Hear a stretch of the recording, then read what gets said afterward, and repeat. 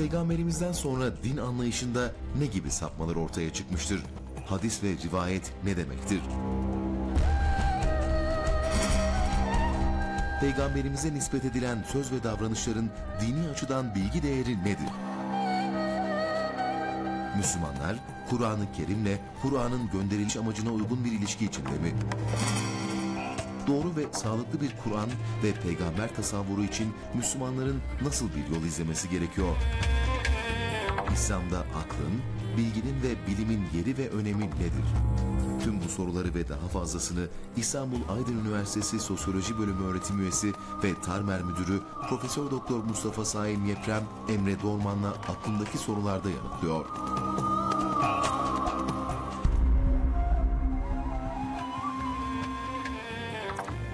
TV8 ekranlarından herkese hayırlı geceler diliyoruz değerli izleyenler. Bu geceki programımızda tanıtımda da gördüğünüz gibi İstanbul Aydın Üniversitesi Sosyoloji Bölümü öğretim üyelerinden Profesör Doktor Mustafa Saim Yeprem hocamız e, bizlerle birlikte.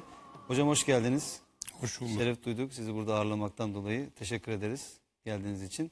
E, aynı zamanda öğrenci arkadaşlarımız da her zamanki gibi bizlerle birlikteler. Sizler de hoş geldiniz. Size teşekkür ederiz. E, az önce sosyal medyadan hocamızla ve öğrenci arkadaşlarımızla birlikte bir fotoğraf paylaşımı yaptık. E, soru ve görüşlerinizi oraya iletirseniz inşallah fırsat buldukça hocamıza o soruları da yönelteceğiz. Hocam e, hemen başlayalım isterseniz. Tabii. Vaktimizi de iyi kullanalım. Arkadaşlar da soruları var. Sosyal medyadan da sorular alacağız. Birçok soru sorabilirim size inşallah. E, hocam tanıtımda da paylaştık. E, İslam dünyasının bugün içinde bulunduğu durum malumunuz. Ve bu konuda birçok e, değerli sizin gibi değerli hocamızın da e, çalışmaları var. Ve uyarıları var. E, bugün acaba doğru bir din anlayışına, doğru bir Allah tasavvuruna, doğru bir din tasavvuruna ya da doğru bir peygamberlik anlayışına sahip miyiz? Ya da İslam dünyasının sizce bugün içinde bulunduğu bu e, içler acısı tablonun e, bir takım nedenleri neler diye sorsam neler söylemek istersiniz hocam? Böyle başlayalım isterseniz. Teşekkür ederim. Şimdi e, din e, kavramı e, üzerinde çok çeşitli açılardan e, bakılması gereken bir kavram. Önce e, toplumun bir gerçeği olarak e, din var. E, bu konuda toplumla ilgili e, ilmi faaliyetlerin daha ziyade merkezileştiği alan sosyoloji günümüzde. E, bunu din sosyolojisi dediğimiz zaman sorduğunuz soru daha ziyade bu alanı ilgilendiren bir sorudur. İki kavramla karşı karşıya kalıyoruz. Din ve sosyoloji kavramıyla. E, din e, çok çeşitli açılardan e, tanımlanmış. Ama e, içinde bulunduğumuz ülke genelde e, Müslümanların yaşadığı bir ülke olduğuna göre biz e, sosyolojiyi İslam dini açısından e, uygulayıp e, bir Müslüman toplumdaki e, dini yapı e, ne haldedir onu inceleyeceğiz. Ben e, genelde e, sosyolojik yapı olarak dinin bir kitabi din e, bir de halk dini olarak e, iki farklı açıdan bakılması gerektiğini düşünüyorum. E, ancak çok enteresan bir durumla karşı karşıyayız. Biz İslam dinine mensup olan kişiler, Müslümanlar olarak din nedir, dinimiz nedir dendiği zaman bütün güzellikleri, bütün iyilik, olumlu hususları e, dinimize yüklüyoruz. Dinimiz şu kadar mükemmel, bu kadar akli, e, şu kadar e, modern imkanlara e, kapı açan e, mükemmel bir dindir dediğimiz zaman e, aklımıza gelen bütün e, olumlu vasıfların kazanı e, sahibi olan din e, kitabi din oluyor. E, halka baktığımız zaman e, halkta yaşanan din ile kitabın ortaya koyduğu din arasında ciddi manada fark var. Bu bütün dünya dinlerinde böyle. Hocam bu yeni bir şey mi diye sorsam. Bu to, top, toplumun e, adeta tabiatında olan bir yapıdır. E, sadece İslam dinine Müslümanlara ait e, bir durum değil. Bütün din mensupları için böyledir. Buna hemen e, en yakınımızda e, bulunan Hristiyan dünyasından örnekler verebiliriz. E, Hristiyan dünyasının temel kaynağı olan ellerindeki yazılı kaynaklar ve onları yorumlayan, uygulayan, üzerinde fikir jimnastikleri yapan kişilere sorduğunuz zaman aldığınız cevap ile bir Hristiyan köyüne gittiğiniz zaman oradaki hayatı incelediğiniz zaman gördüğünüz manzara pek de birbirine uymayacaktır yani. En tipik örneğini tarih bize gösteriyor. Ee, sağ tarafına tokat yediğin zaman solunu da çevir e, diye tanıtılan bir İsevi ahlak e, hiç kimseye zarar vermeyen, e, kan dökmekten hoşlanmayan e, bir yapıyı taşıması gereken e, bir din. E, asırlar boyunca Haçlılar vasıtasıyla din adına oluklar gibi kan akıtmışlardır. E, görüyorsunuz bakın e, uygulama ile e, onun kitabi kaynakları e, birbirini tutmuyor. Hocam E, kendi dindaşları açısından da aynı şey geçerli. gayet tabii bizim, e, arasındaki İslam dünyası da böyle. İslam dini de böyle. E, şimdi e, biraz önce ben bizim tutumumuzu e, anlatıyordum. Yarım kaldı. Kitabi dinimize baktığımız zaman ortada e, her şeyin en olumlu, en mükemmel, en olgun şeklinin son modelini görüyoruz.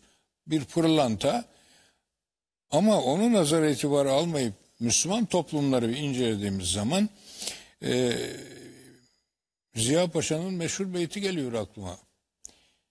Diyarı küfrü gezdim, beldeler kâşhaneler gördüm. Dolaştım mülkü İslam'ı, bütün viraneler gördüm. E, niye böyle oluyor? Çünkü e, teoride baktığımız zaman e, Hristiyanlığı e, biz Hristiyanların hayatına bakarak değerlendiriyoruz toplum olarak kıyaslamak. Ama e, kendimizi değerlendirirken kitabi dinimizi e, anlatarak değerlendiriyoruz.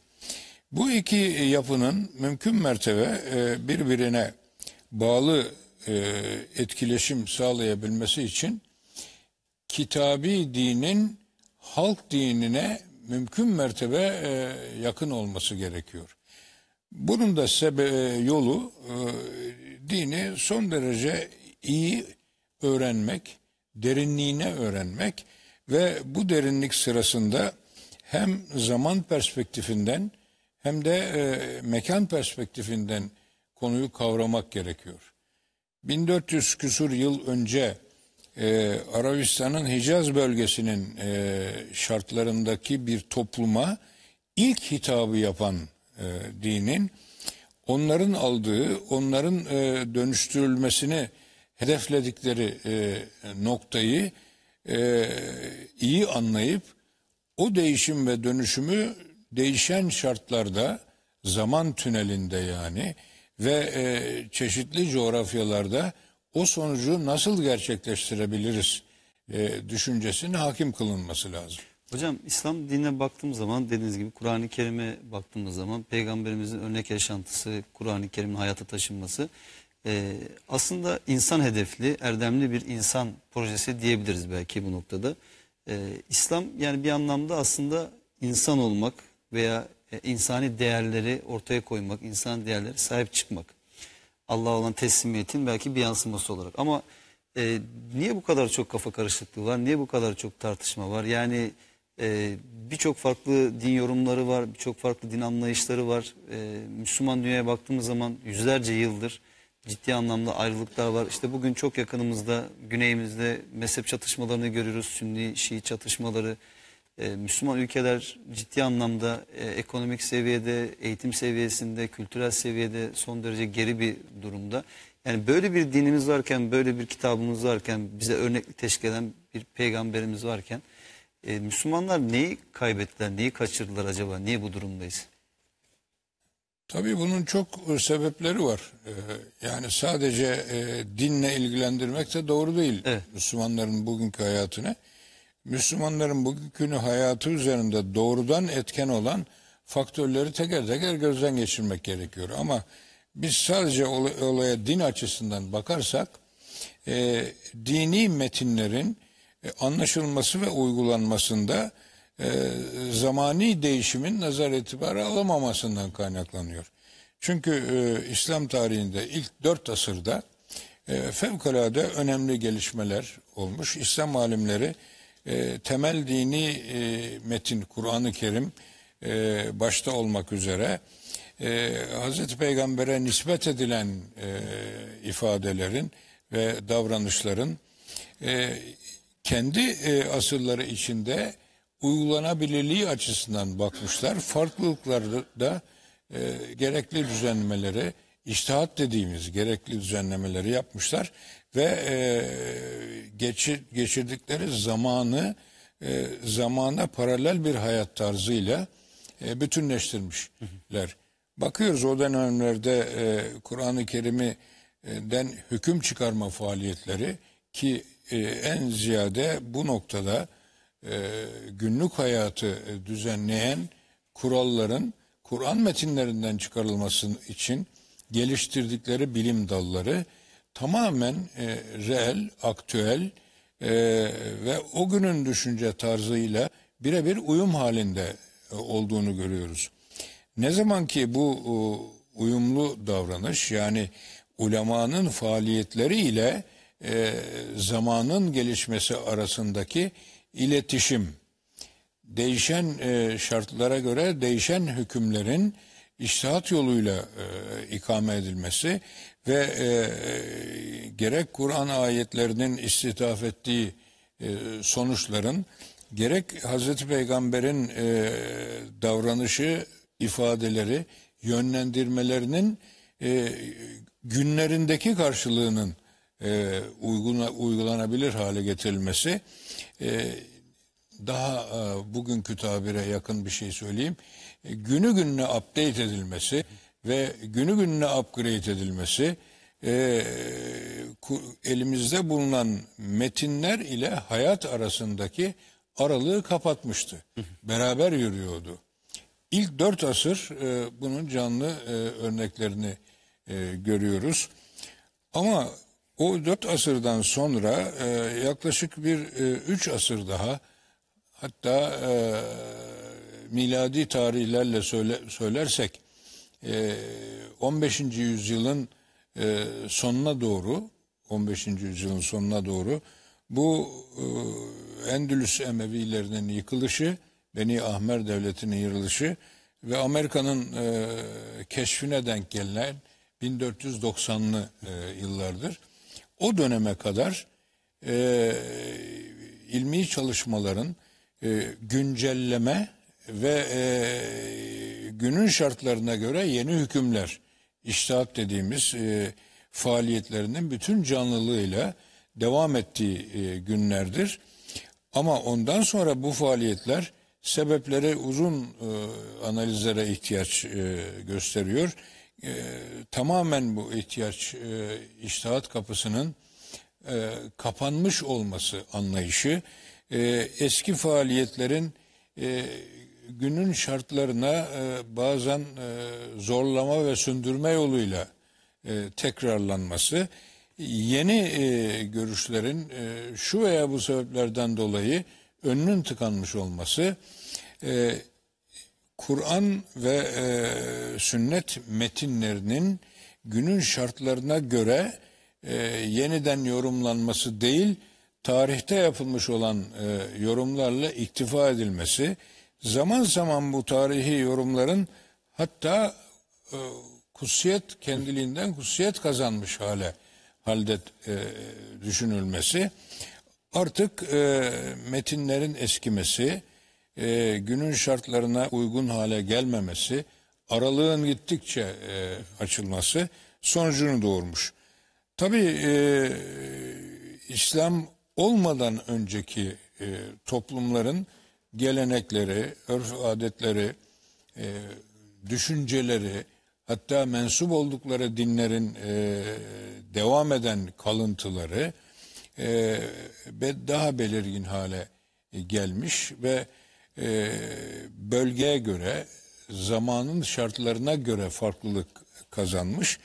E, dış dünyanın e, Müslümanlara e, etkisi askeri, siyasi, ekonomik e, ve teknik açıdan e, büyük boyutlara e, ulaşmış.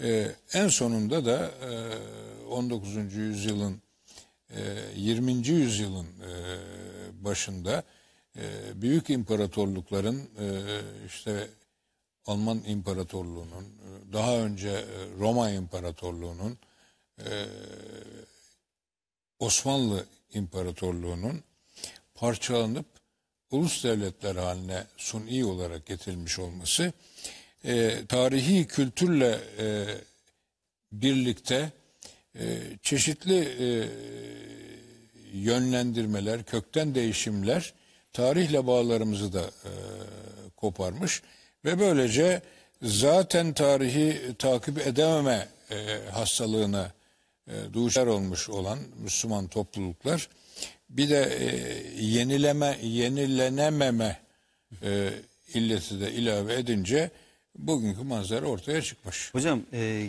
sizin bu ifade ettiğiniz şeyleri e, hayata taşımaya çalışan işte en azından e, dinin yorumlarının güncellenmesi gerektiğini ifade eden insanlara karşı böyle bir geleneksel çevrelerden bir e, muhafazakar bakış açısı var ama insanların neyi muhafaza ettiklerinden de ne kadar emin olup olmadıklarını bilmek çok mümkün değil doğrusu. Yani bir takım tepkiler gösteriyor halk ya da işte belli gruplar çeşitli e, kimseler ama e, yani neyi muhafaza ediyorlar veya söylenen şeyi gerçekten dinliyorlar mı? Aynı kavramlardan mı bahsediliyor? Veya bahsedilen şey o insanlarda yansıması nasıl? Yani burada da bir anlam kargaşası var sanki. Şimdi e, bunun temel e, sebeplerini e, sistematik bir sırayla değil de e, rastgele e, ortaya koyabiliriz. E, bir defa e, her yeni fikir kendi döneminde e, şiddetle e, karşılanmış, şiddetle karşılanmıştır. Her yeni fikir. Bakın bugün çok büyük e, İslam alimleri dediğimiz rahmet okur, okuduğumuz e, keşke e, Cenab-ı Hakk'ın lütfu inayetiyle adetleri daha çoğalsa dediğimiz alimlerin hemen hemen hepsi kendi dönemlerinde e, o döneme göre muhafazakar toplum tarafından reddedilmiş, e, sapıklıkla suçlanmış, hatta tekfir edilmiş ve hemen hemen hepsi, bakınız hemen hemen deyince yüzde yüzün altına ineceksiniz biraz, hemen hemen hepsi e, şehit edilmiştir. Zehirlenmişlerdir, öldürülmüşlerdir, hapsedilmişlerdir. Hemen aklıma gelen e, birkaç tanesini söyleyeyim. Mesela Büyük İmam-ı Azam e, hapsedilmiştir ve zehirlenerek öldürülmüştür. E, İmam Seraksi dediğimiz e, 30 ciltlik e, büyük eseri olan e, Hanefi imamlarından e, hapsedilmiştir ve öldürülmüştür. Bugün e, milletimiz tarafından ahlaki, tasavvufi tarafı çok sevilen ama aslında kendisinin büyük bir filozof olduğu, büyük bir fakih olduğu, e, büyük bir e, düşünce adamı olduğu e, müsellem olan İmam Gazali kendi hayatında tekfir edilmiştir. Kendi arkadaşları, asır, asırdaşları tarafından. Hemen hemen e, aklımıza kim gelirse rahatça söyleyebilirim ki hapsedilmişlerdir, dövülmüşlerdir, tekfir edilmişlerdir.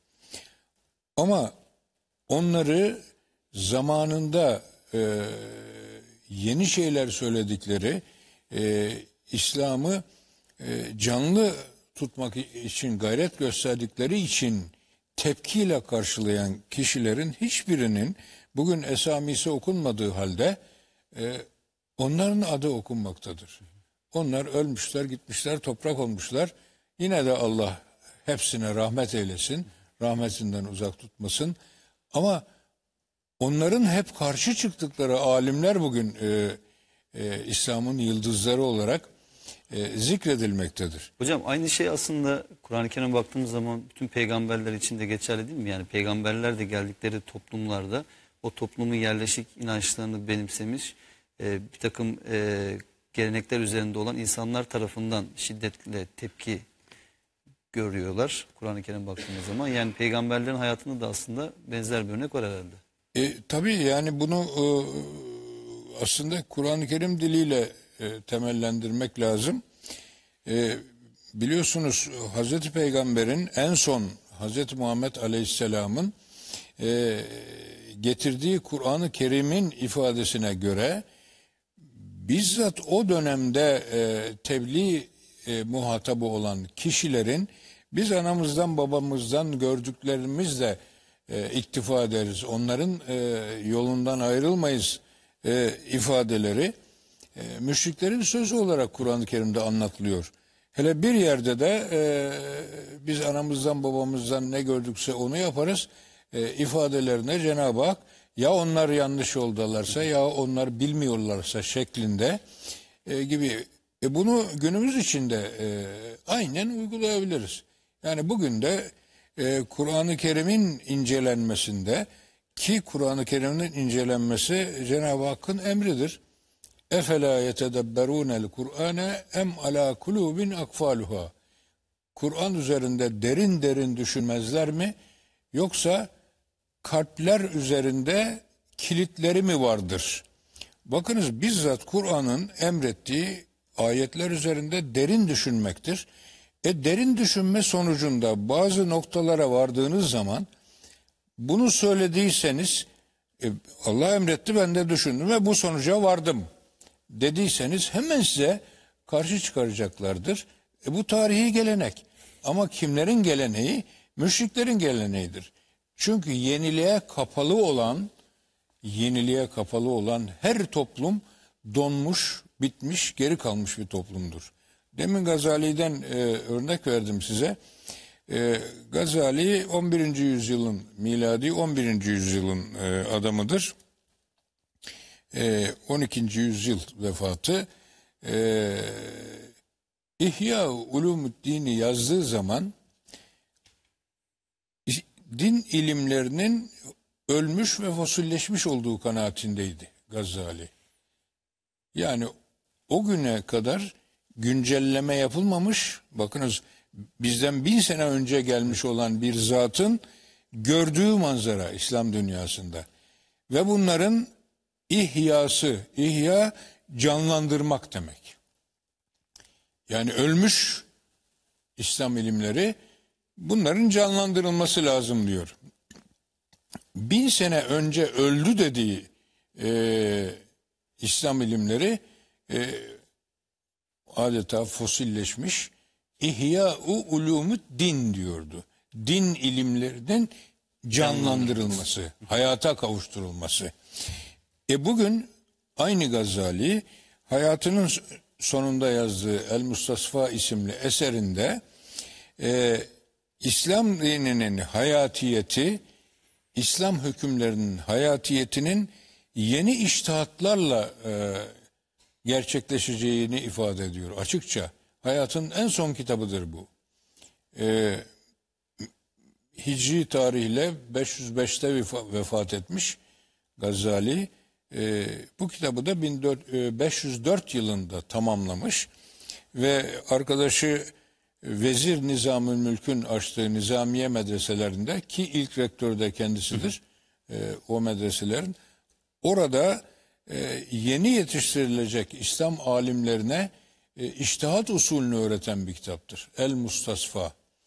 Çünkü e, iştihat dinin e, hükümlerinin hayatiyetini sağlayan, onu güncelleştiren bir kavramdır. İşte bakınız bugün İslam dünyasının e, genelde bu halde olmasının temel sebebi e, din açısından diyorum. Temel sebebi e, iştihadın e, durdurulması ve iştihada karşı e, hiç e, doğru olmayan bir rezistansın e, toplumda oluşturulmasıdır. Ki maalesef e, o mukavemet e, bugün de mevcuttur.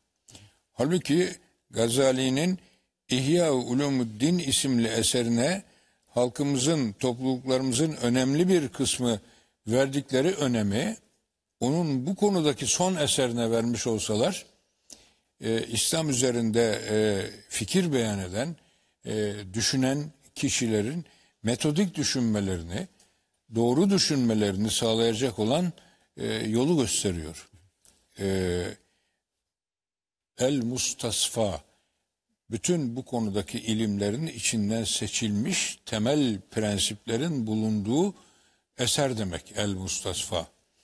Ee, bir hukuk metodolojisi kitabıdır. Ee, geleneksel ismiyle Usulül Fıkıh kitabıdır.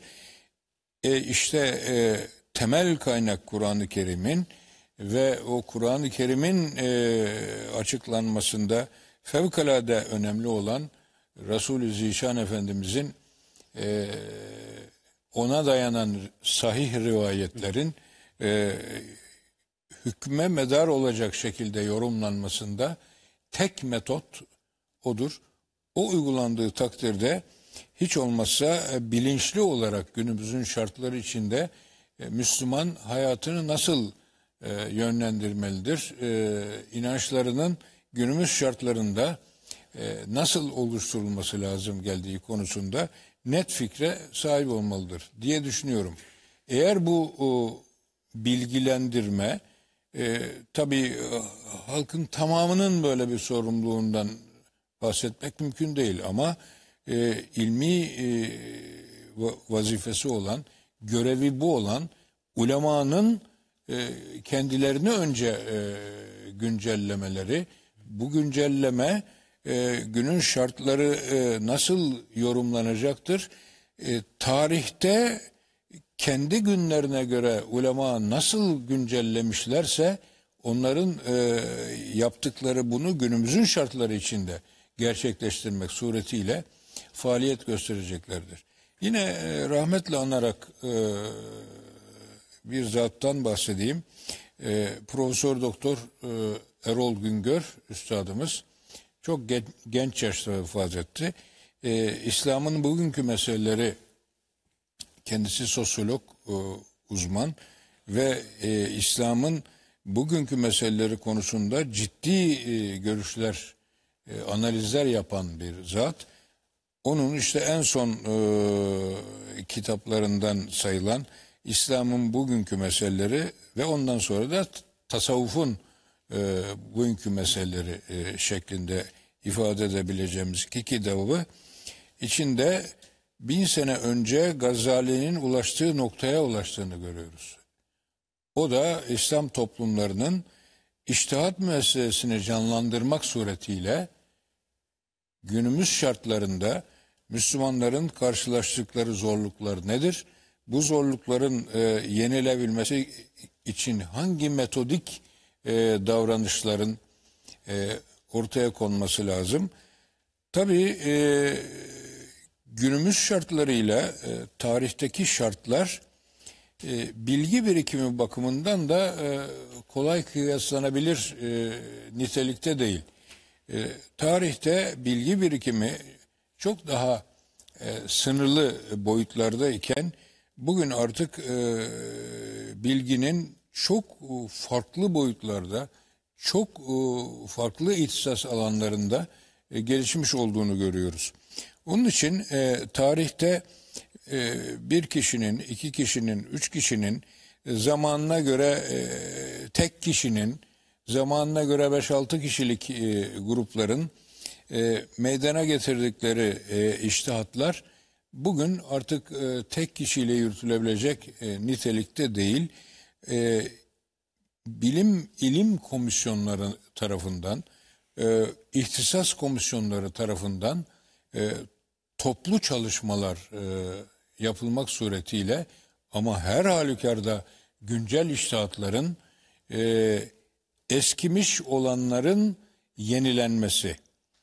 Tarihte kaldığı halde bugün hala e, ihtiyacı karşılayabilecek e, değerde olanların canlandırılarak e, uygulamaya konması ama her halükarda her yönüyle günümüzün şartlarında bir Müslümanın e, rahatça e, yaşayabileceği, e, dini hayatını sürdürebileceği e, bir kıvama ulaştırılması lazımdır. Hocam sizin e, biz fakültedeyken sizden de ders aldığımız zamanlarda modern çağın inanç problemleri bu konu üzerinde sıklıkla duruyordunuz bunun öneminden e, yani 15 yıl olmuş e, şimdi düşünüyorum E, o zaman da ondan çok önceden beridir de bu konu üzerinde de duruyordunuz modern çağ inanç problemleri Müslümanların modern sorunlarına e, çağın beraberinde getirdiği e, problemlere yönelik olarak e, yeni cevaplar verme ihtiyacı.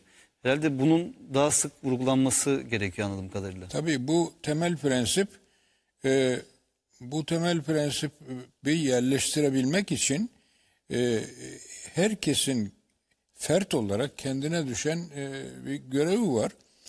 E, o görevde yani e, düzenlemeye, düzeltmeye e, kişi kendinden başlamalıdır önce. Kendinden başlamalıdır. E, bu da mesela şöyle bir e, prensip için e, isabetli bir başlangıcı olabilir. E, farklı düşünceler olabilir. Ben başkalar gibi e, başkaları gibi düşünmüyorsam başkaları da benim gibi düşünmek zorunda değildir. Bunu bir defa temel prensip olarak algılamalıdır bütün Müslümanlar. E, çünkü her dönemde her dönemde e, ilk e, asırdan itibaren e, müştehitler kendileri e, iştihat e, zorunda kaldıkları için çünkü Kur'an metinleri e, belirli sınırlardadır. Peygamberden e, gelen nakiller, rivayetler belirli sınırlardadır. Coğrafi sınırlar genişledikçe zaman e, dünya hayatında değişiklikler meydana geldikçe bu işte ticaret yolları sebebiyle, ha- harpler sebebiyle dünyadaki bütün hareketler yavaş yavaş e, dünyanın her bölgesinde e, etkili olmaktadır. Müslümanların sınırları genişledikçe farklı milletlerin dinleri, dilleri filan e, katılmaktadır. O halde daha önce oluşmuş olan e, hükümler mecmuasının yeni kompozisyonlara göre ayarlanması gerekiyor. Bunu işte müştehitler yapıyorlardı. Hele sınırlar genişledikçe her bölgede her bölgede e, o bölgenin insanlarından yetişen büyük alimler vardı. O alimlerin görüşleri etrafındakiler tarafından benimseniyor, uygulanıyor, yayılıyorlardı. Ama ya haç mevsiminde veya bir ticaret veya bir savaş e, halinde çeşitli şekilde bunlardan birinden diğerine haber ulaştıkça veya karşı karşıya geldiklerinde bu farklı görüşler aralarında e, müzakere ediliyordu ve hemen hemen hepsinin kullandığı tavır İmam Ebu Yusuf'a nispet edilen bir ifadeyle net olarak anlaşılabilir. Ben çalıştım, çabaladım, şu noktaya vardım ama başkası başka bir noktaya varmışsa o daha doğrudur. Hocam burada bir ara verelim müsaadenizle. Çok güzel bir noktaya temas ettiniz. Aradan sonra inşallah kaldığımız yerden devam edelim. Değerli izleyenler kısa bir reklam aramız var. Sonra inşallah birlikteyiz.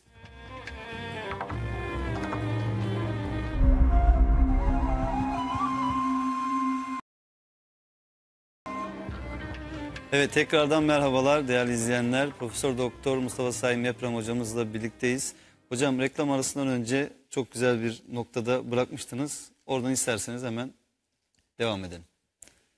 Evet İmam Ebu Yusuf'tan e, bir nakille bitirmiştik. Yani o dönemin e, ilim anlayışı ve iştihatların birbirlerine göre durumunu anlatan güzel bir şeydi. Kendisine gelenlere e, ben çalıştım, e, inceledim, şu kanaate vardım ama bir başkası da aynı konuyu inceler, başka bir sonuca varırsa o daha doğrudur şeklinde e, büyük bir tevazu içinde davranırlardı. Bu bölge farklılıklarından kaynaklanan e, görüş farklılıklarını birbirleri benimki en doğrusudur demezdi. Çünkü bunların tamamen e, mezhebi karakterdeki hükümler dinin temel hükümleri değillerdir. Bunu Müslümanlar o dönem içinde yaşadıkları için çok iyi biliyorlardı.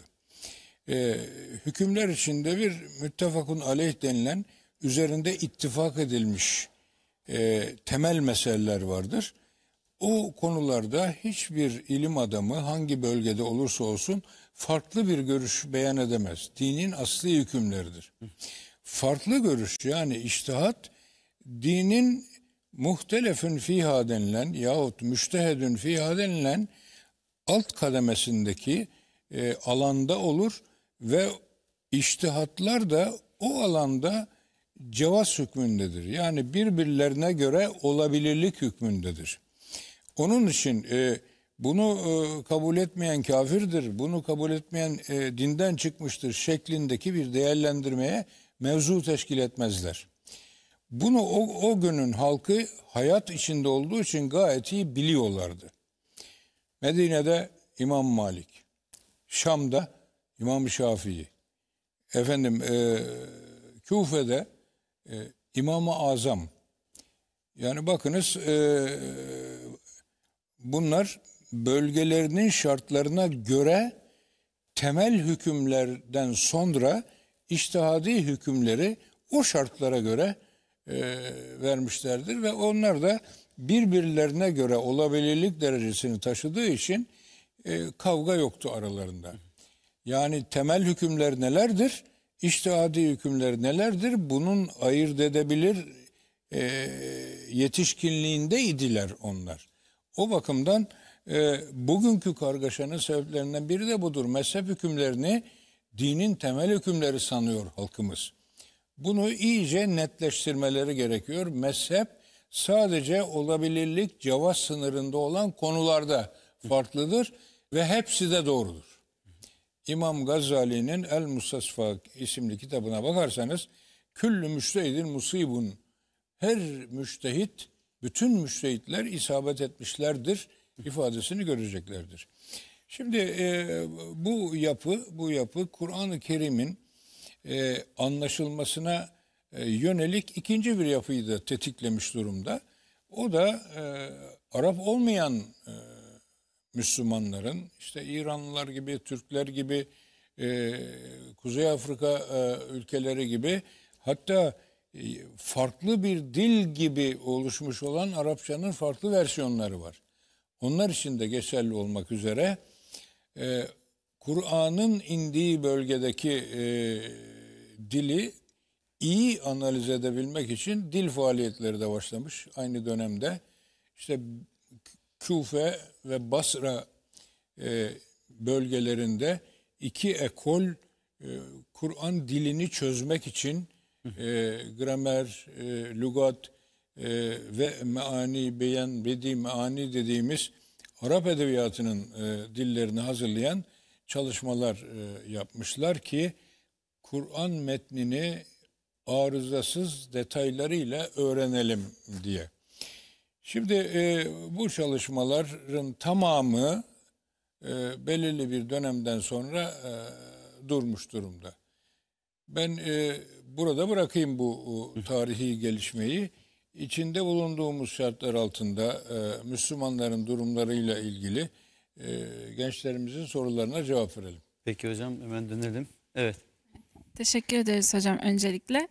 Ee, ben biraz önce de bahsettiniz doğru bildiğimiz yanlışlar üzerinde birkaç bir şey sormak istiyorum.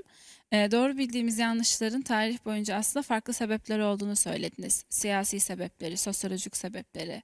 Arka planda aslında bir sebebe bağlayamadığımız birden fazla sebepler var toplumla, siyasetle, süreçle ilgili. Peki bu da doğru bildiğimiz yanlışlarda e, bunları düzenlerken, düzeltirken bugüne baktığımızda neler yapmamız gerektiğine aslında biraz değinmek istiyorum. Buradaki problemin e, insanların e, yaklaşımlarında ne gibi bir problemi olduğunu sormak istiyorum. Yani insanlar burada vahyin kaynağıyla muhatap olurken e, kasıtlı mı yaklaşıyorlar ya da bir önyargıyla mı yaklaşıyorlar ki yanlışı burada fark ediyorlar, görüyorlar. İnsanın burada ne gibi yaklaşımı var? Yahut vahyin kaynağıyla ilgili bir sıkıntı mı yaşıyorlar ki buradaki bir problem yaşıyorlar? Ya da iyi niyetli yaklaştıkları halde, saf duru bir Allah inancıyla yaklaştıkları halde de yine de yanlış yorumlayabilirler mi? Doğru bildiğimiz yanlışları biz burada hangi kısmını düzeltirsek gerçek ve sahih olan e, yaklaşabiliriz.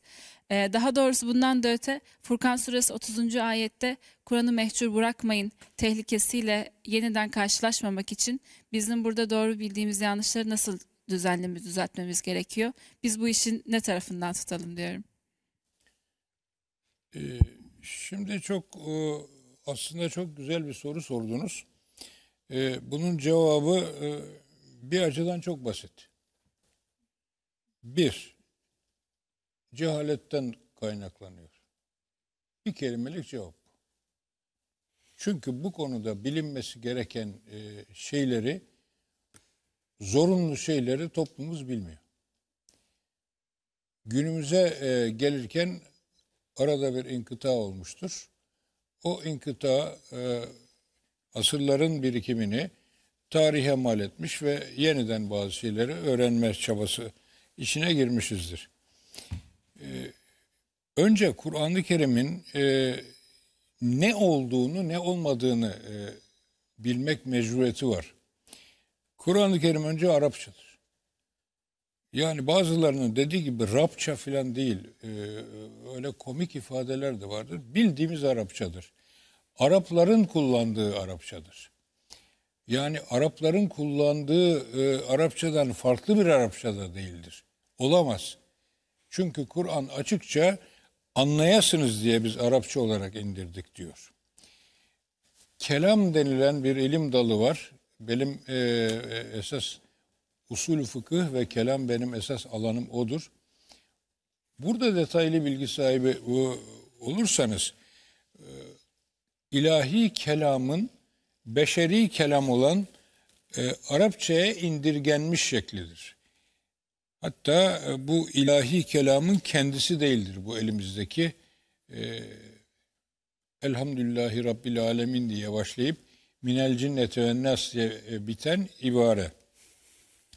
Ama bu Arap dili e, ile e, birikmiş olan e, yapı sistematik bir yapı değildir. Yani böyle e, hocanın kitapları var bu kadar. Birinci bölüm, ikinci bölüm, ara başlıklar, alt başlıklar, büyük ağlar, küçük ağlar. Böyle bir sistem değil. Nasıl bir sistem? Konuşma dili. Allah insanlarla konuşuyor bu kitapta. Peygamberle konuşuyor, insanlara hitap ediyor. Karşılıklı, hitabi bir dil. Ey peygamber hani ben sana demiştim ya onlar şöyle yapmışlardı bunu hatırla. Sana şöyle diyecekler onlar geldikleri zaman da böyle de konuşuyor bakın bizimle. Mükaleme, karşılıklı konuşma dili. Karşılıklı konuşma dilinin kitabi bir kitap gibi hemen açalım baştan okuyalım tamam hüküm filan fasıl filan yok böyle bir şey. Konuşma dili. E bir defa konuşmuyor ki Allah. 610 Ramazan'ı Kadir gecesinde indirmeye başlanmış. Vefatına kadar, vefatından kısa bir süre önceye kadar devam etmiş. 23 senelik e, parti parti parti parti geliyor. E, 10. senedeki Müslümanları düşünün mesela. 10. seneye kadar ne kadar ayet gelmişse ellerinde o kadar var Kur'an metni. Mekke döneminde 13 sene. Medine döneminde 10 sene. Hayatının sonunda tamamlanmış durumda. O halde e, 23 senelik bir e, hayat kesiminde hayatın akışı içinde birbirine benzer olaylar tekrar ediyor, tekerrür ediyor. Yeni olaylar var iki defa, üç defa, dört defa, beş defa tekrarlanmış olaylar var. Ama o tekrarlar arasında zaman farkı var, coğrafya farkı. Kimi Mekke'de olmuş, kimi yolda olmuş, kimi Medine'de olmuş. Benzer olay dikkat edin. O konuda ayetler geliyor. O zaman bir de bakıyorsunuz ki hemen hemen aynı konuda ayet, bir ayet böyle söylüyor, öbür ayet gene benzer konuda farklı bir şey söylüyor. Şimdi bir de bu periyot var. Yürüme, e, nüzul e, sırasındaki değişiklikler. Bunların ötesinde ve e, şimdiye kadar hemen hemen birçok kişinin daha doğrusu e, akademisyenlik ve bu konudaki e, uzmanlık alanı dışındaki kişilerin, mesleği başka olanların göz önüne almadıkları bir başka yapısı var Kur'an-ı Kerim. Kur'an-ı Kerim edebi bir yapı. Yani şiirsel bir yapı. Şiir mi? Değil. Ama şiirsel yapı. Şimdi siz e, buraya böyle ben e, Emre Hoca'nız hatırlayacak ortaya şöyle mükemmel bir e, pilav gelmiş olsa kızarmış etleri de var üzerinde. Allah ne mükemmel bir baklava der misiniz buna? Yani buna ne mükemmel baklava derseniz önünüze gelen pilava ya zihni melekesinde arıza var dersiniz bunun e, veya şaka yapıyor dersiniz. Pilavı görürseniz pilav dersiniz. E müşrikler Kur'an'ı gördükleri zaman ne diyorlardı? Bu bir şiirdir diyorlardı. Şiire benzemese, ilk bakışta şiir intiba vermese bu bir şiirdir der mi deli olmayan bir adam? O halde yapı şiir, şiir yapısı. Allah şiir değildir de demiyor. Biz ona şiir öğretmedik diyor. Bunu e, çeşitli müfessirler nasıl izah ediyorlar? Detayı uzun. Yani şiirsel bir yapı. Şiirsel yapının özelliği ne? Bu çok önemli. Mecazlar var. Kinayeler var. İcaz dediğimiz çok kısa ama çok geniş anlamlı ifadeler var. Ayın yok. İcaz. Vecizeden geliyor yani. Çok kısa hemen iki üç kelime ama o kadar geniş anlamları içeriyor ki onlar var. Uzatmalar var, tekerrürler var. Bunlar e, çok anlamlı kelimeler var. Kur'an'ın bu edebi yapısı ki biliyorsunuz e, Arap edebiyatı doruktaydı o zaman. E, her sene şiir müsabakaları yapılırdı ve derece kazananlar e, Kabe'ye asılırlardı. Öyle bir dönemde geliyor Kur'an ve edebiliğiyle e, mucize teşkil ediyor. Şimdi kalkıp e, me, mesela Fuzuli'nin şiirlerini alıp hemen düz bir e, kitapmış gibi açıklayabilir misiniz yani? Ama Türkçe. Fuzuli Türkçe yazmış. İşte Kur'an-ı Kerim'de Arapça. Sistematik bir kitap değil. Edebi bir kitap. Konuşma üslubu.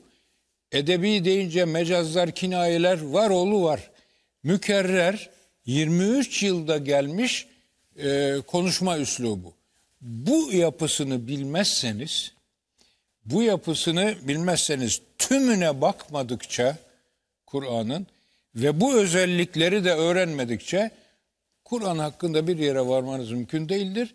Verdiğiniz hüküm hep yanlış olur. İşte bundan dolayı Arap olmayanların Arapların bir avantajı var. Biri okuduğu zaman anlıyor ayetin manasını. Hafız olmasa da anlıyor. Neden? Ana dili. Bir de tarzı istimal dediğimiz Arap edebiyatında e, çok önemli bir e, unsur. Kullanım şekli. Yani lügatlara bakarak çözemezsiniz onu ama bunu anlatan lügatlar var. Kocaman lügatlar var. Tarzı istimal yani bir kavramı anlatacak e, cümleyi Arap o cümleyi yapıyor mu yapmıyor mu? Sen Türkçe düşünüp Arapçaya çevirirsen yahut Arapça bir cümleyi Türk mantığıyla anlamaya kalkarsan hani e, demin konuştuk ya sizin zihninizde başka anlam oluşur. Kur'an'ın içindeki anlam başkadır. İşte bu o, faktörler, bu faktörler bir araya geldiği zaman Kur'an-ı Kerim üzerinde e, doğru görüş beyan etme imkanını elde etmiş olursunuz. Bir, metinlerden anlam çıkarmanın bir metodolojisi vardır. O metodoloji bilmezseniz Kur'an-ı Kerim'den bir hüküm çıkaramazsınız. Çıkardığınız her şey e, yanlış olur, eksik olur. Kelamcı ve usulcülerin bu bakınız ke, us, kelamcı usulcülerin usul fıkıh iki e, ekolle yürüyor. Biri fukaha ekolü var, bir kelamcılar ekolü var. Bizim mensup olduğumuz usul kelamcılar ekolüdür. Ki onların başında işte bu mustasfa geliyor. Mütekellimin metodu diyoruz. Bu mütekellimin metodunda bir kural var. Delili mecmu. Yani bir konuda ki ayetlerin tamamına bakacaksınız. Benim aklıma efendim bir konu geliyor. Ha hemen şu ayet o konuda diye hüküm veremezsiniz hayır. O konuda kaç tane ayet varsa tamamına bakmak zorundasınız ve bu tamamına bakarken de birbiriyle irtibatını e, tarihi sırada kronolojik sırayı nazar itibarı almak zorundasınız. Yani bunu şimdi e, hoca ile sık sık beraber gördüğünüz okuyan hoca gayet güzel yapıyor yani bu o, sıralamayı. Bir de e, Kur'an-ı Kerim'in e, alfabetik fihristi diye e, Profesör e, İlhami Güler'le Profesör Ömer Es Özsuy'un beraber hazırladıkları bir fihrist var. Orada yaklaşık 1400 başlık var. O 1400 başlık konu başlığıdır. Altına sıralanan ayetler de nüzul sırasıdır. Ve çok geniş indeksleri var. Ee, belki e, bilginiz var bu kitap hakkında. Yoksa edinin masanızda bulunması gereken güzel bir e, kitaptır. E, özetle Kur'an-ı Kerim'den nasıl hüküm çıkarılacağına dair kuralları bize usul fıkıh bildiriyor. Usul fıkıh bildiriyor. Usul fıkıh tefsirden sonra tefsir ve hadis Gazali'nin ifadesine göre tefsir ve hadis bütün ilimlerin temelidir ama yeterli değildir. Tıpkı bir bina yapımında e, çimento, demir, malzeme, beton zorunludur ama o bina değildir o. Bina yapılabilmesi için o malzemenin belirli bir sisteme göre kullanılması gerekir. İşte o belirli sistem, kullanılma sistemi biri usulü fıkıhtır, diğeri e, kelamdır. Bu iki e, bilim dalının yardımıyla ve mümkün mertebe e, tarihe doğru, tarihin başlangıcına doğru gitmeniz suretiyle elde edebilirsiniz. Günümüzdeki e, insanların e, bunu elde edememelerinin başındaki sebep geçmişteki e, ilmi çalışmaları birbirinin tekrarı olduğunu çoğu bilmiyor. Birbirinin tekrarı. Hem de kaynak vermeden tekrarı. Onun için ilk kaynağa kadar gitmek gerekiyor.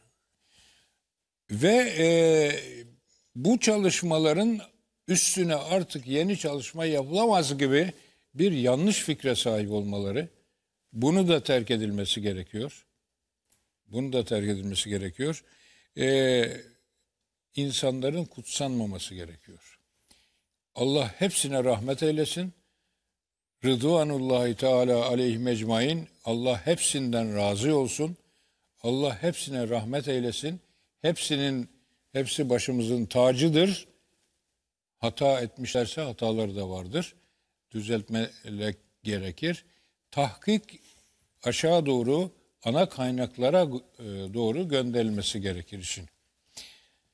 Hocam buradaki az önce ifade ettiğiniz gibi temel problemlerden bir tanesi de bu herhalde. Yani ya geçmişi e, toptan Kutsan. reddetmek ya da toptan kutsamak böyle bir paket gibi yaklaşmak e, ya da mesela ki, bazı alim kişilerin veya alim kabul edilen kişilerin e, görüşlerinin tartışılmaz olduğunu iddia etmek, düşünmek veya yazdıkları şeylerin e, haşa sanki Allah'tan gelen vahiymiş gibi veya Kur'an'ın yanında bir otoriteymiş gibi görülmesi ve e, tartışmaya kapatılması veya ne diyorsa odur şeklinde yaklaşılması. Bu da biraz aslında İslam dünyasının o e, maalesef içinde bulunduğu duran e, halin sebebi değil mi? Yani sizin Kur'an-ı Kerim'le ilgili yaptığınız açıklamalar bana Kur'an-ı Kerim'in çok dinamik bir kitap olduğu ve her çağın aslında ilerisinde olduğu e, mesajını verdi. E, ama din anlayışımız sanki böyle değil. Din anlayışımız bir dönem hapsedilmiş ve o dönemdeki tartışmaları biz her dönemde olduğu gibi alıp e, olduğu gibi anlamaya ve uygulamaya çalışıyoruz ama e, başarılı olamıyoruz sanki. İşte bütün arıza burada zaten.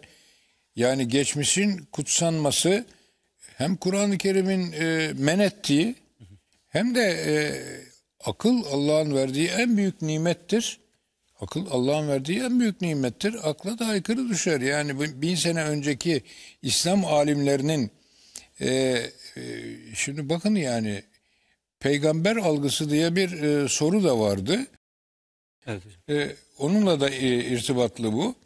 Yani Kur'an-ı Kerim'de e, Cenab-ı Peygamber'e hitaben Allah kul innema ene beşerun mislukum yuha ileyye ennema ilahukum ilahun vahid e, buyuruluyor. De ki ey peygamber ben de sizin gibi bir beşerim. Ama bana e, ilahınızın tek bir ilah olduğu vahyolmuyor. Birçok rivayette de e, özellikle veda e, hutbesinde de var. E, bana e, diğer milletlerin kendi peygamberlerine davrandıkları gibi davranmayın. Yani e, kutsallaştırmayın tek kelimeyle. Kutsallaştırmayın. Ben bir insanım. Sizin gibi bir insanım. Yemek yerim. Abdeste giderim. Yatarım, uyurum. Kadınlarla birlikte olurum. Böyle anlatıyor yani peygamber. Bizim gibi bir insan olduğunu. Bizim gibi bir insan olmanın dışında bir takım vasıflar nispet edildiği takdirde peygambere bunu men ediyor yani. Allah da men ediyor. Kendisi e, sözleri de var. Şimdi peygamber e, tasvirlerine bakın. Gittikçe gittikçe e, sanki şöyle bir e, gizli e, motif var. Bakıyorlar Hristiyanlara, bakıyorlar Yahudilere, bakıyorlar e, diğer e, gruplara. E, peygamberleri e, ilahlığa kadar e, çıkıyor. E, eh, onların peygamberi böyle olur da bizimki olmaz mı ya? Bizimki ondan daha yüksektir. Sanki bir yarışma gibi e, şey var, tartışma var. Hocam özür dilerim. Ee, Kur'an-ı Kerim'e baktığımız zaman insanüstü bir peygamber Yok. beklentisi e, müşriklerin beklentisi değil mi hocam? Tabii. İşte onu dedim ya. Evet. Müş, müşrikler öyle e, bekliyorlar. E, ha- halbuki e, Allah kendisini biz e, lekad kâne lekum fi rasulillahi usvetun hasene. Allah'ın e, Resulünde sizin için güzel bir e, örneklik vardır. Şimdi e, insan olmayan bir varlığı biz nasıl örnek alırız yani? yani o insanüstü bir varlık olsa Allah bizi kelamda e, imkansızlığı ortaya konan teklif mala yutak bizim yapamayacağımızla mükellef tutmak bizi demek. Ben ona yutaksız teklif diyorum. Ee, öğrencinin hatırında kalıyor. Teklif mala yutak. Takat getirilemez teklif. Öyle bir model gösteriyor ki işte bunun gibi olacaksın diyor. Mevlana'yı çıkarıyorsunuz, koyuyorsunuz diyor ki sizin her biriniz Mevlana olacaksınız. Hakikaten bir düşünün bakalım bin tane Mevlana olsa mesela. İstanbul'da 500 tane, Ankara'da 200 tane. Mevlana'nın Mevlanalığı kalır mı ya? Herkes Yusuf, e, Yunus Emre olsa. Yunus Emre'nin bir değeri kalır mı? Ya onlar tek örnekler ve kesinlikle ulaşılamaz. E, peygamberi biz örnek alınacak bir varlık olarak gösteriyor bize Allah. Şimdi böyle bir e, yapıda peygamber tenkit edilebilir mi? E, kendi arkadaşları ediyorlar. Rivayetler var. Rivayetlerde e, açıkça e, Peygamber Efendimiz bir şey söylüyor kendilerine. Basmam, basmazlarsa argo ama zararı yok.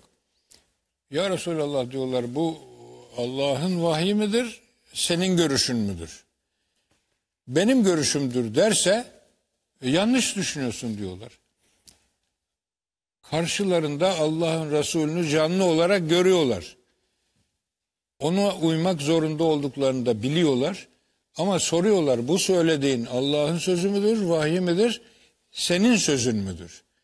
Allah'ın vahyidir derse eyvallah gidiyorlar. Yok bu benim görüşüm derse yanlış düşünüyorsun diyebiliyorlar rahatça. Tartışmaya giriyorlar. Hocam Müslüman ahlakına ve ilkeli duruşuna yaraşan da bu değil midir zaten? E budur yani tabii. doğru Budur. olduğunu düşünmediği bir şeyin yani yanlışını ifade etmesi gerekmez. mi? İşte yani bakınız la yuhti bir peygamber anlayışı Müslümanlıkta yoktur. İnsanüstü bir peygamber anlayışı Müslümanlıkta yoktur. Kur'an-ı Kerim'de e, yüz civarında e, ayet peygamberin ne olduğunu ve ne olmadığını anlatıyor. Bir zat e, Tarikat-ı Muhammediye diye bizim Ali Köse Hoca toplamış onu yayınladı gördünüz mü? Henüz görmedim. Tarikat-ı Muhammediye ben sana göndereyim şeyden. E, gençlere de ver. Tarikat-ı Muhammediye ama Tarikat-ı Muhammediye e, o tarihteki e, Ödemişli zatın değil. Bir, yani İmam Birgevi'nin değil. Bu yeni kim yazmışsa çok güzel. Tamamen e, ayetlere dayalı olarak ayetlerin sure ve numaraları var. Peygamberin nasıl bir adam olduğunu söylüyor. Şunu bilmez, bunu bilir, bunu yapar, bunu yapamaz diye. Mesela peygamber Allah peygamber için diyor ki ve la ente bi musma'in men fil kubur. Ee, kabirde olanlara sen bile bir şey işittiremezsin diyor. Kur'an-ı Kerim'de peygambere e, bir özellik sen bile kabirlerde olanlara bir şey işittiremezsin diyor. E gel bak ondan sonraki e, rivayetlere neler neler var. İşte Kur'an-ı Kerim'in Gayb konusu da hocam. Efendim gayb, Gayb konusu, da konusu öyle. da böyle. Gayb konusunu da peygamber bilmez. La e, la ya'lemul gaybe illallah. Allah'ın bir başka adı da Allamul guyubtur. E, hani dedik ya e, nerede başlıyor gayb?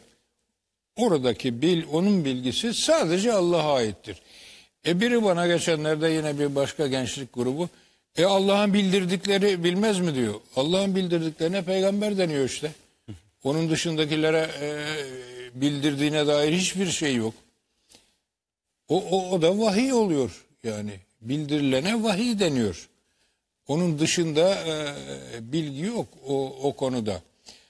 Ama e, gaybi bildiğine dair e, yani peygamberin Kur'an-ı Kerim'de tavsif edildiği sıfatlara dışındaki sıfatları yakıştırmak hem edebe aykırıdır hem edebe aykırıdır hem de e, Kur'an-ı Kerim'in e, ruhuna, e, lafzına, her şeyine aykırıdır. Hocam e, şimdi peygamberlik çalışarak kazanılabilecek bir şey değil. Değil. Yani bir insan mesela sultan da olabilir, kral da olabilir, işi yolunda gider, dünyanın en zengin insanı da olabilir ama peygamber olamaz. Peygamberlik ancak Allah tarafından seçilen insanlara Allah tarafından verilecek bir misyondur, bir görevdir. Dolayısıyla bir insanın yeryüzünde e, Allah'ın nebisi olması, Resul olmasından daha şerefli bir şey var mıdır ki zaten? Yani Allah'ın e, Kur'an-ı Kerim'de Rabbimizin peygamberimizle ilgili söylediği şeyler zaten yeterli değil midir ki niye biz e, farklı bir peygamber tasavvuruna veya algısına yöneliyoruz, sapıyoruz? Evet işte e, cahiliye döneminin e, İslam'dan önceki e, ruhçuluk döneminin yani ruhlara tapınma e, döneminin devam eden e, anlayışları e, mistik e, yaklaşımlarda Kur'an-ı Kerim'in net ifadelerinin e, batıni bir takım e, anlamlara hamledilmek suretiyle çarpıtılması e, bu tarzda anlayışlara yol açmış e, durumda. E, Kur'an-ı Kerim'in net, açık e, ifade e, her türlü gizliliğe e, imkan vermeyen ifadesi Kur'an'a rağmen e, gizli anlamlar ihdas edilmek suretiyle e, halk arasında e, revaç bulmuş. Bu e, böyle nasıl diyeyim reel, rasyonel, akılcı ve hemen gördüğüyle e, ampirik tecrübelere dayanan bir yapıdan daha ziyade gizli, sırlarla dolu, derinliği olan şeylere merak eden kişilerin e, hani zihinlerinde e, oluşturdukları her güzel şeyin İslam'da var olduğunu söylemeleri gibi bu alandaki e, bilgi ve marifetleri de İslam'da varmış gibi yamamalarının bir e, sonucu. Benim düşüncem şudur. Bu olgudan kurtulmanın e, tek yolu bilgilenmektir. Yani Kur'an-ı Kerim'in ve e, İslam dinini temelden anlatan ana e, belgelerin ki bizim dilimizde onun adı usulü dindir. Dinin temel esaslarıdır. E, bunun öğretilmesi. E, kulaktan dolma. E, herhangi bir sisteme tabi olmadan e, toplama bilgiler bir de buraya e, kişilerin kişisel özelliklerini taşıyan istidlalleri, yorumları eklendiği takdirde karşımıza e, sosyolojinin halk dini dediği e, kitabi dinden epi e, uzaklarda bir dinin e, oluşmasına e, sebep oluyor. Hocam Kur'an-ı Kerim bize iman edecek olanın da bir delil üzerine, e, helak olacak olanın da bir delil üzerine helak olmasını e, bu mesajı veriyor. Dolayısıyla bir Müslümanın aslında üzerinde bulunduğu şeyde iddia iddiasında ve ortaya koyduğu tezinde mutlaka ama mutlaka akla, fıtrata, vahye, Hazreti Peygamber'in örnekliğine uygun bir şekilde bir delile dayanması gerekmez mi?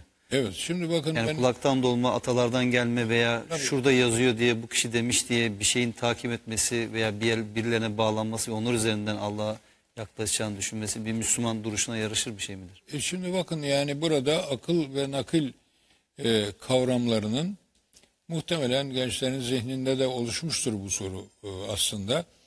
Akıl ve nakil e, kavramlarının e, kıyaslanması halinde İslam alimlerinin ki hemen birinin adını vereceğim, kitabından da söyleyeceğim. İslam alimlerinin genelde ittifak ettikleri bir söylem var. Hatta Osmanlıca'da güzel bir söz haline bile e, gelinmiş. Bir e, yerde akıl ile nakil, vahiy yani, akıl ile vahiy tearruz ederse, çelişirse yani, akıl ile vahiy çelişirse, akıl müreccah, e, vahiy müevveldir. Yani akıl tercih edilir, vahiy tevil edilir. İza tearadal aklu ile nakli yuraccahul aklu ve yuevvelun naklu diye de Arapça ibaresi. Akılla nakil e, çatışırsa, çelişkili olursa akıl tercih edilir, nakil tevil edilir diyor. Gazali bunu e, El Mustasfa'nın e, son e, cildinde tearruz e, bahsi var. İştihat ve tearruz bahsi var. Yani deliller arasında çelişme. Özellikle rivayetlerde, peygambere nispet edilen rivayetlerde yüzlerce çelişik ifadeler var. Birinin A dediğine öteki B diyebiliyor. Birinin Z dediğine öteki P diyebiliyor rivayetlerin. Böyle taban tabana zıt rivayetler var. Bunların nasıl çözüleceğine dair de bir hayli eser e, yazılmış ama en güçlü eserler e, uydurma hadisleri anlatan eserlerdir. Yani uydurma dersin biter. Onların da e, delilleri var. Daha e, bin seneye kadar geriye kadar bu mevzu hadislerle e, meşgul olan büyük alimler var, kitapları var. Şimdi Gazali çok farklı bir açıdan bakıyor. Diyor ki biz Müslüman olarak tabiat kanunlarına tabiat kanunlarına sünnetullah, Kur'an'ın ifadesiyle sünnetullah, bir başka ifadeyle kader deriz. İnna külle şeyin hılaknahu bi kader. Biz her şeyi bir ölçü üzerine yarattık. Karet, ka- kader kainatın ölçülebilir bütün değerlerinin adıdır. Bunun bir başka adı da sünnetullah'tır. Bu kuralların kendisi kaderdir. Kuralların işlemesiyle ortaya çıkan durumda kazadır. Şimdi e, kaza ise e, kader sünnetullah'tır. Kaza ise Allah'ın fiilidir. Biz yani e, şu e, taşı kaldırıyoruz buradan. Küt diye bırakıyoruz yere. İşte bunun fizikteki formülü 1 bölü 2 gt kare serbest düşme formülü. Bu formül Allah'ın sünnetidir. Bu kuralı koyan odur. Buna koyduğu ölçüdür yani. Kader budur. Taşı e, demiri bıraktığım zaman güm diye düşmesi kazadır. Olay. Bu da Allah'ın fiilidir. Gerçekleşmez. Kaza Allah'ın fiilidir. E, kuralın kendisi ve şemsü tercihli müstakarri leha zâlike takdirul azizil alim. Güneş e, kendi için belirlenen yörüngede akar gider. Bu Allah'ın aziz ve alim olan Allah'ın kaderidir. Takdir, kader koymak. Yüzlerce ayet var bu konuda. İşte astronomik hareketler Allah'ın kaderidir diyor. Diğer e, faaliyetler Yağmurun yağması. yağmurun yağması, gök gürlemesi hepsi Allah'ın kaderidir. Bizim hayatımız, yürümesi, bizim kan basıncımız Allah'ın kaderidir. Yapımız yani tabiat kanunu bugünkü adıyla tabiat kanunu dediğimiz Kur'an ifadesiyle sünnetullah dediğimiz ve asla değiştirmeyeceğini söylediği velen tecdeli sünnetillahi tebdila velen tecdeli sünnetillahi tahvila burada tebeddül ve tahavvül demiyor. Teb- tebdil ve tahvil diyor ki değiştirmeyeceğim demek bu. Değiştirme görmeyeceksin. Değişme değil, değiştirme görmeyeceksin. Allah sözünde sadık olduğuna göre kıyamete kadar bu kural devam edecek böyle. Şimdi diyor ki olaylar Allah'ın fiilleridir. Gazali. Vahiy ise Allah'ın kelamıdır. Akıl Allah'ın fiiliyle Allah'ın kelamının birbiriyle çelişmeyeceğini düşünür. Yani Allah'ın kendi sözüyle kendi fiili çelişir mi birbirine? Ama biz bu, bu çelişkiyi görüyorsak, biz görüyorsak o zaman emri müşahet diyor ona, görünen gerçek diyor.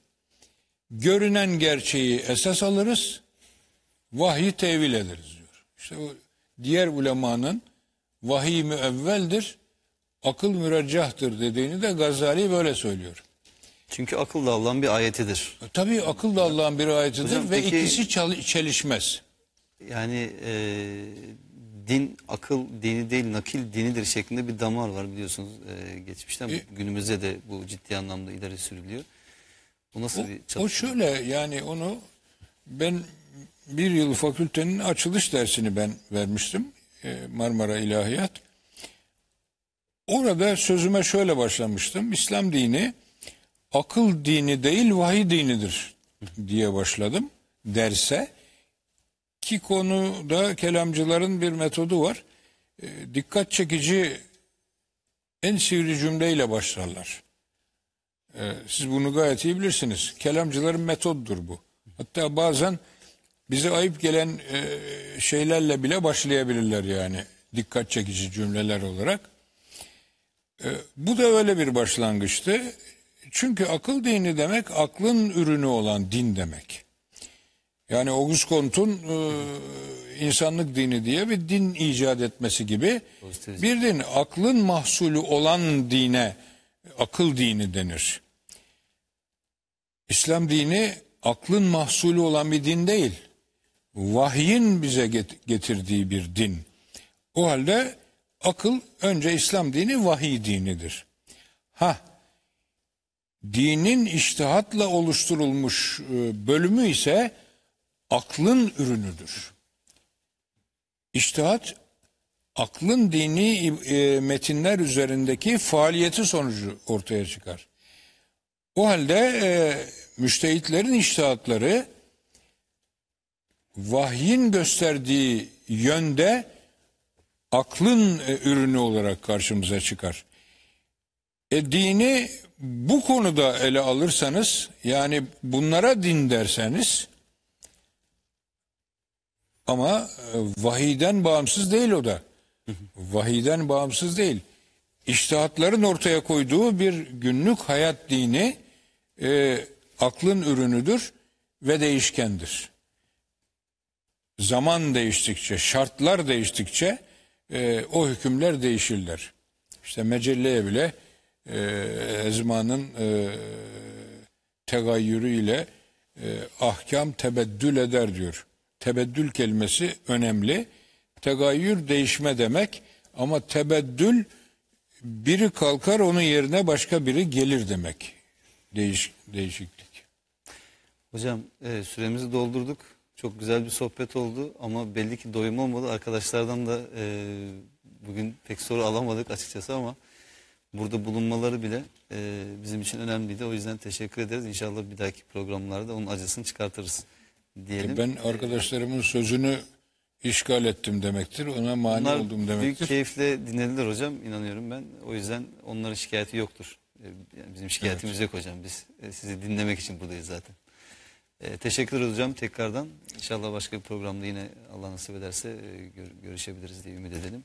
E, değerli izleyenler e, bu gece programımızın da sonuna geldik. İnşallah önümüzdeki hafta yeni bir programımızda görüşmek üzere diyoruz.